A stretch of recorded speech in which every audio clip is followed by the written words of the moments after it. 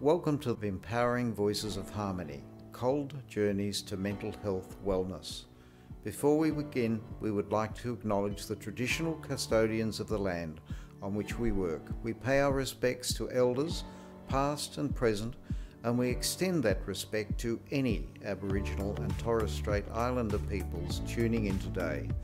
A disclaimer that this podcast is intended for educational purposes only and should not be relied on as personal advice.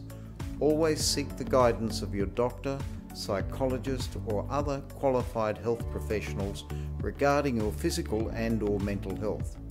If you're experiencing a crisis, call Triple O or Lifeline on 13 11 14 for suicide prevention services. Lifeline also offers SMS service on 0477 13 11 14. To learn more about Mental Health Foundation Australia, visit our website at mhfa.org.au. You can also follow us for updates on Instagram, Twitter, or Facebook. You can also call us at 1300 643 287 or email us at admin at mhfa.org.au. Hello, everyone. Welcome back to another episode of Empowering Voices of Harmony. The goal of this podcast is to empower diverse voices, which is why we have someone from a very different culture with us today, Vanessa. Thank you for having me.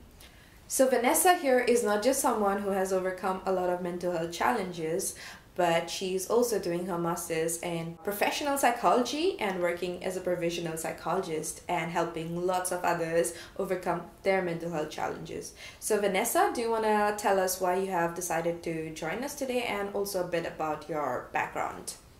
Yeah, so I decided to join today because I thought it would be interesting to talk about how culture has an impact on mental health, um, particularly because I grew up in a pretty interesting um, environment where my parents are both from different cultures, um, but ethnically Chinese. Um, so my mum is from Hong Kong and my dad is Malaysian Chinese, um, and they were both actually international students. Yeah, so being a child of international students, being born in Australia, I thought that would be Mhm. quite interesting to of share some insights on how um, culture has an impact on um, people from migrant backgrounds as well. That's very interesting. Like your background seems very complicated to me because I belong to a very simple, like ethnically just one thing.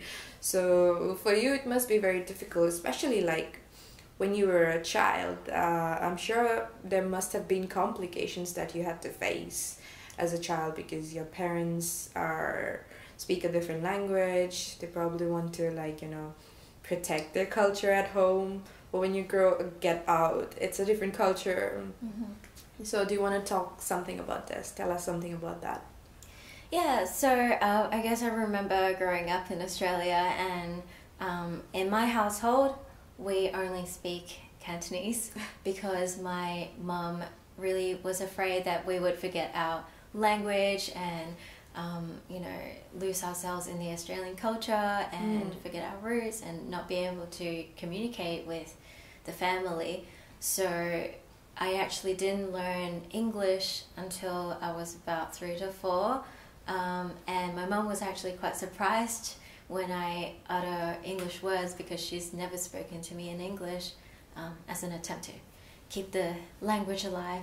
Mm-hmm. Yeah. so how was that at home like was she like when you would say utter english words for that matter like would she like how would she react to it Well, actually, I um, I didn't really. I mean, I was quite young. I was basically a baby at that time. Um, so you know, language was probably still a learning thing for me.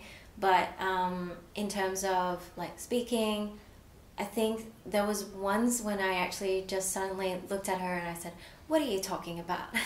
and my mom was so surprised because she didn't expect that. She never taught me any English, um, and I guess we had neighbors. We had you know Australian neighbors, but um, you know when we played with them we were still babies, so we didn't really communicate with words. So it was very surprising. Just sign language, you mean like Um, baby language? yeah, baby language, or like, you know, one or two words, you know, snake or something like that.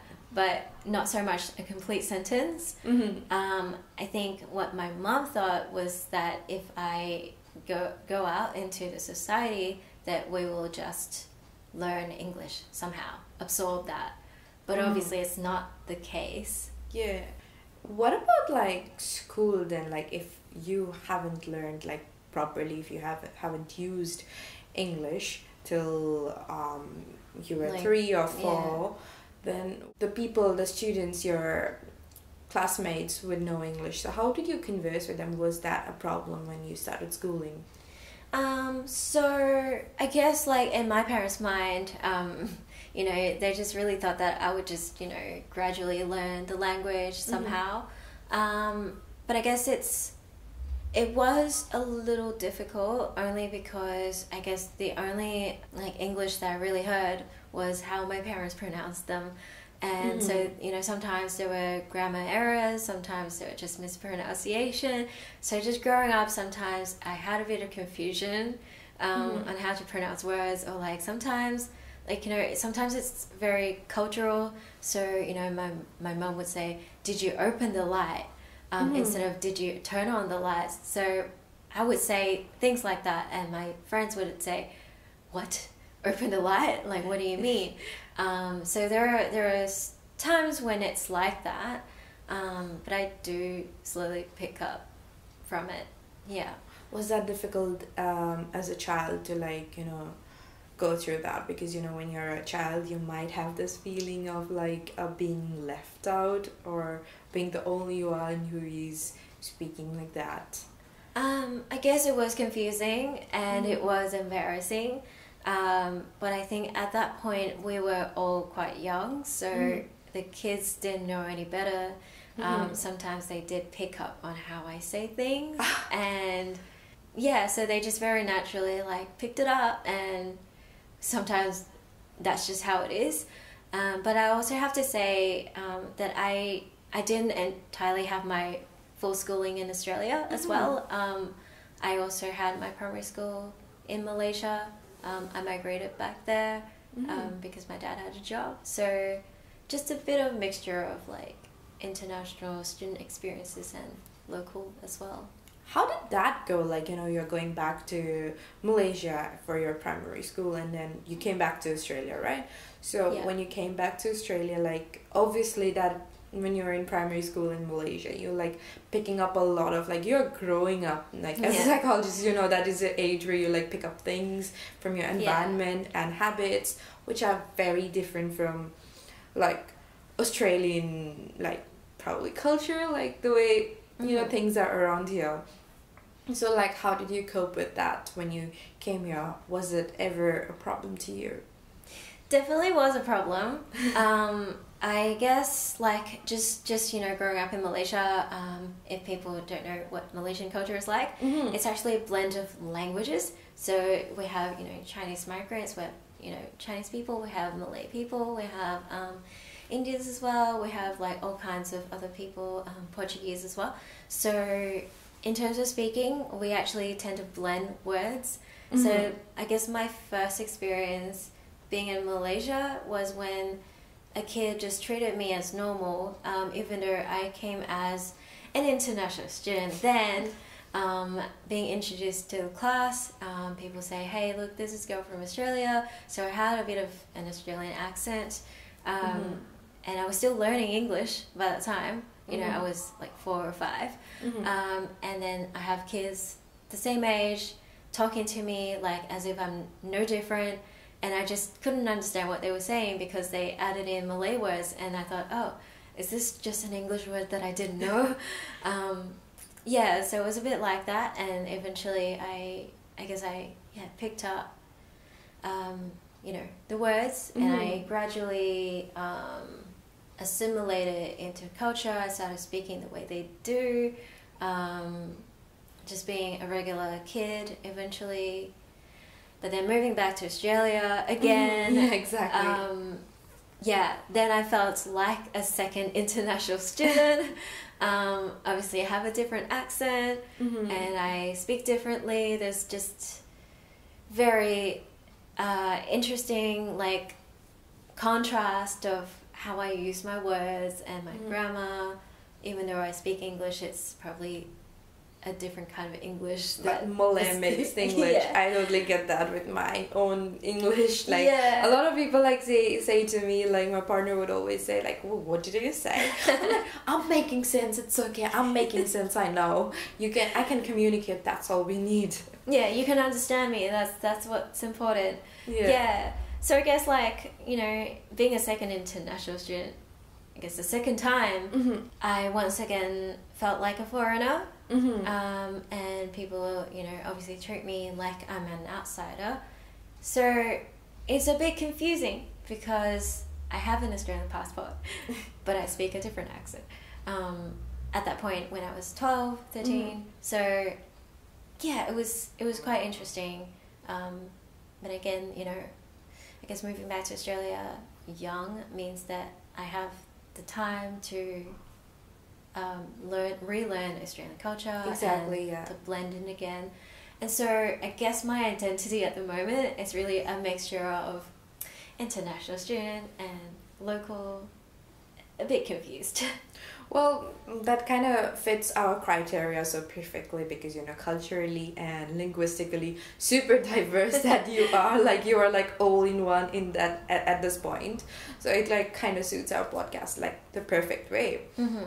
So would you like to like tell us something about uh, your high school when you like you said that you're very young so you had the opportunity to learn things but how was it at high school did you like get bullied because of like having a different accent did you come across any like tough times because of that Yeah, definitely. I think at the start, you know, the kids were young, so they had this curiosity when it comes to different cultures. So at the at uh, at the start, it felt you know pretty okay. Um, they were very curious and respectful. Um, obviously, because of schooling and how teachers teach them to Mhm. um, behave as well. But I guess going into high school, um, people start you know becoming teenagers and you know having a bit of um, attitude you know wanting to be cool and things like that so it was cool back then i was i was one of the three asians in my high school Mm. um, and so it was not a very culturally diverse high school um, and you know for them to look cool they like to sort of mock you know the culture and Mhm. you know, say a lot of stereotypical, very ignorant things. Um, and you just have to roll with it, really. At some point, I think it's an interesting identity where people who grew up here, um, being a minority, they may end up starting to hate their own culture as a Mhm. result, just to blend in. So, you know, because it's just three of us, um, I have, I know one person who particularly made fun of their own culture just to fit in. Um, you know, just to say, hey, Asians aren't, you know, all that. Uh, we do all these things that are very embarrassing. Ha, I'm not like them because I'm westernized. Mhm. Um, and so they take that opportunity to also, um, yeah, continue the harassment. I wouldn't say it's bullying. I would say it's more out of ignorance and Mhm. just out of wanting to be cool. as a psychologist like what is your view on like someone trying to you know hate on their own culture um, just to fit in because back home they have to go and like their parents are going to be proud of their culture because they're already you know of that age and they love their culture Yeah, so I suppose it's obviously not great, and it's probably going to, um, you know, have a bit of identity problem um, for the kid because they have to compartmentalize, you know, who they are outside Mhm. and who they are inside, which might be very different because particularly like, you know, from my background, being respectful to your parents and being respectful to your family Yes. is such a big thing. And so you see this kid out there who's screaming all kinds of things, you know, being very dominant, Mhm. coming home very, very quiet, very gentle. Mhm. It's just a complete different kind of person. Um, but you know, I guess we have to understand that it is for survival Mm-hmm. and that, you know, obviously it's not a great experience to be harassed or to be um, picked on or to be isolated, to be Mhm. different. And so kids gotta do what they gotta do to survive in a school environment where teachers might be ignorant, um, Mhm. Where the school might be ignorant of all the issues that they are facing. And so, you know, just having to do that, that must be quite difficult Mm-hmm. but it's so necessary. But I guess, I guess as a result, they would have had a bit of embarrassment and shame for their own culture and Mm-hmm. um, a different kind of attitude and maybe resentment as well. You know, to be a migrant. Why am I a migrant? Um, yeah. Yeah, and what do you think, like, when you say it, talk about it like that?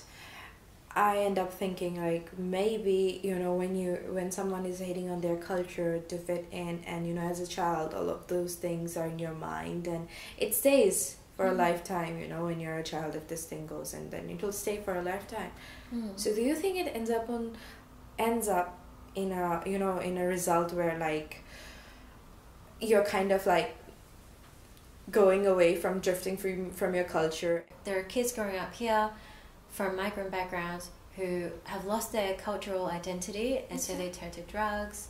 They feel left out. They feel like they've been torn in between worlds as well. Mm-hmm. so you know mental health you know all kinds of things. And you know us having traditional cultures you know from like asia for example um, we we have those values to protect ourselves from being lost Mm-hmm. from turning to drugs, from doing things that harm ourselves. Mm-hmm. And so when we lose our culture, we lose that protection, and then we don't know what to do, and we might even shut out our family.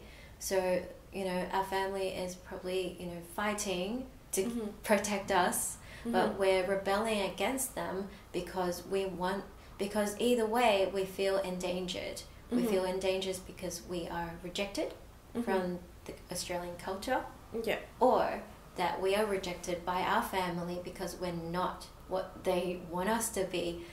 And so this whole identity thing, it's it's a very dangerous mix. Um, and so I guess particularly as well, there's a big issue when it comes to people from migrant culture Mhm. um, having partners Mhm. with you know white Australians, for example, and Mhm. maybe their family might Mhm. not approve of that, yes or they have certain views on that, or there's a cultural clash. But in order for them to blend in, they want to feel normal. So they want to be with, you know, the white Australian who's Yes. the dominant culture, just so they can fit in. And so there's there's a lot of attitudes to do with oh you're a betrayer, you know you're a traitor of our Mhm. culture. How dare you? But I guess it's a lot of unspoken communication in between Mhm. you know, lack of understanding of this person is just trying to survive, Mhm. and then, you know, this sense of betrayal and Mhm. shame, and why are you rejecting, you know, your own culture?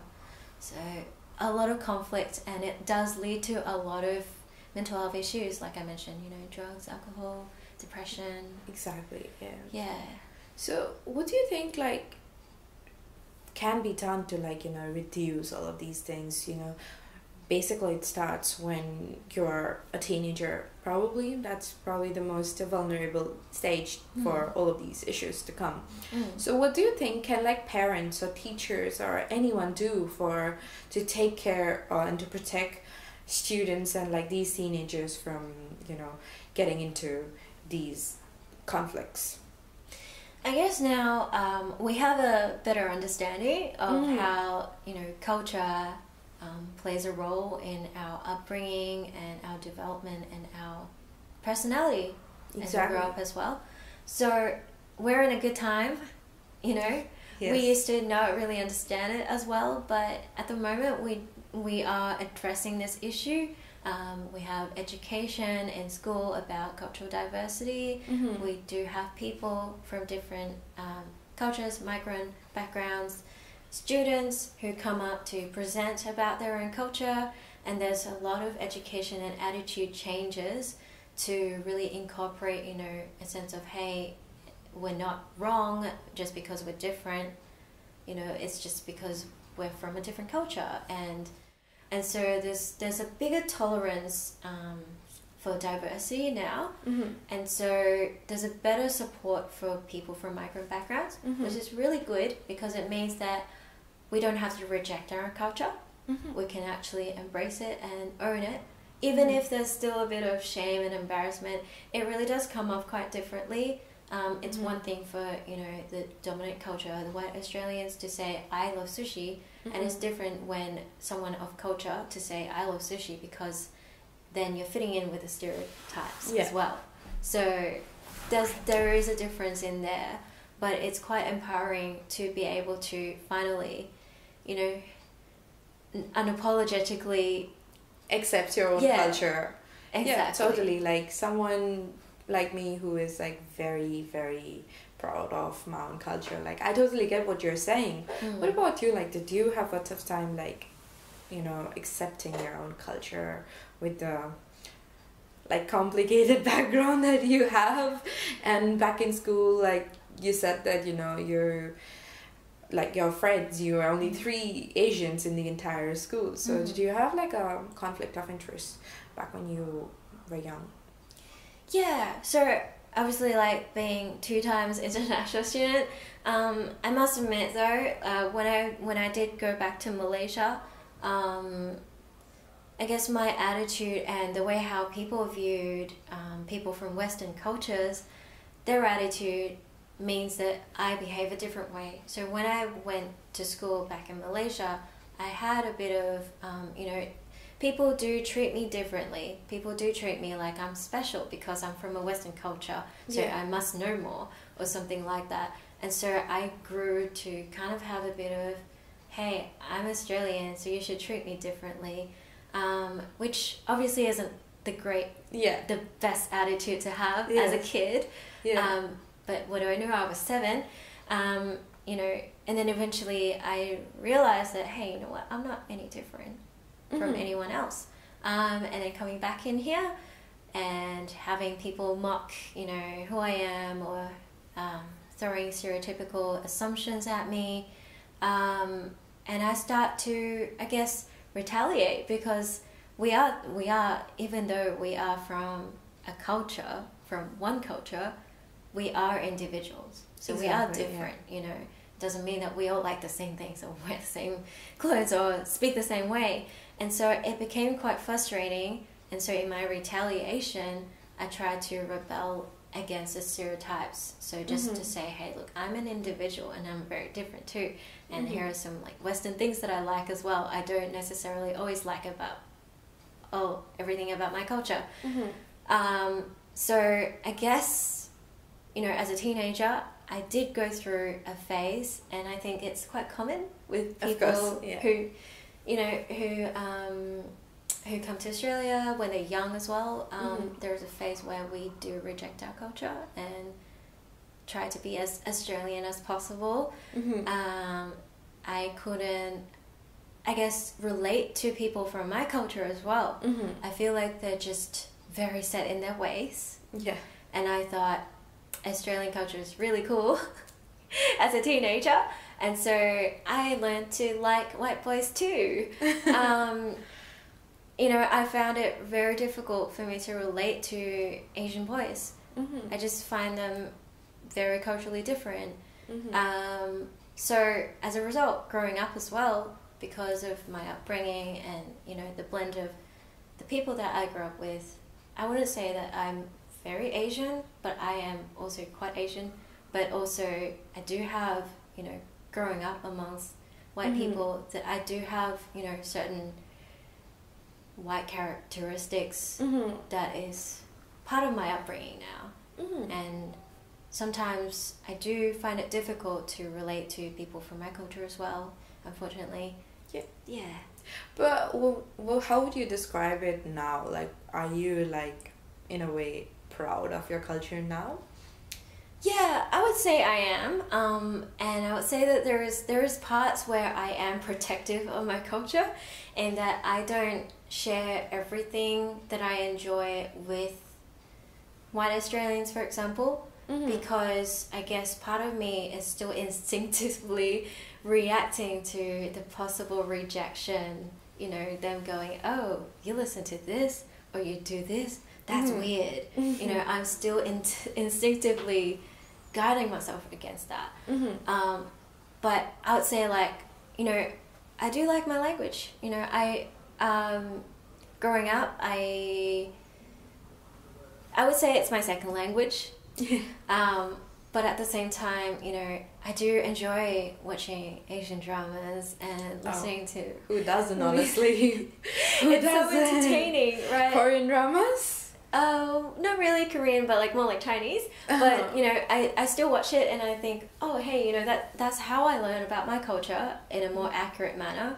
Um, and I find that you know people who are removed from the culture, they may learn it more superficially. Mm-hmm. They may hold on to certain stereotypes as well. Mhm. That I think is yeah quite simplistic. And I think you know just immersing myself in um, things media that's produced by my own culture instead of Western people's Yeah. lens on it would be quite interesting. And so that's that's how I actually learned my language. Um, that's how I actually developed you know my language skills. Just off topic, by the way, since you mentioned about Chinese media, I have to mention that I really love reading Chinese web novels. They are amazing. Anyway, going back to our topic, so what would you like like to you know suggest to anyone who is in your position? I suppose um, you know I actually have such an interesting like upbringing that I Mhm. think it, it brings an advantage Mhm. in um, being able to view you know the outside lens and the Mhm. inside lens as well um, in the culture and outside the culture viewing in viewing out um, and that you know sometimes it's all about perspective Mhm. sometimes it's also about you know your experiences and sometimes there's so much to learn there's, there's just always something to learn about your own culture and about your own identity Mhm. um, and it doesn't have to be you know an internal fight with either or um, you know it's it's so good to be able to embrace both of your cultures and just going hey look i have insights of my own culture and i also have insights of being i guess australian as well Mhm. and so offering that different perspective means that you have a better way to relate to people, all Mhm. kinds of people. You know, Mhm. it makes you a person who can actually communicate more effectively. Totally makes sense. Like there is this saying that I really like a lot. Uh, the more we learn, the less we know. As you said, the more you learn about your culture, the, the more you realize that actually I don't know anything, and there is so much more that I need to know. And then you get to like get different perspectives. It's a wonderful message that you have sent to everyone. So, would you like to say anything before we end the show today? Oh, I guess, you know, thank you for inviting me. And it's been, you know, really fun to be able to share my experiences. And hopefully, um, there's someone out there who will be able to relate to my experiences as well. Thank you so much for coming to us and talking to us, sharing everything with us. It was wonderful to learn about your really complicated background and growing up in different countries. That was beautiful. Thank you so much once again. We'll see you again. Thank you. Thank you. See ya.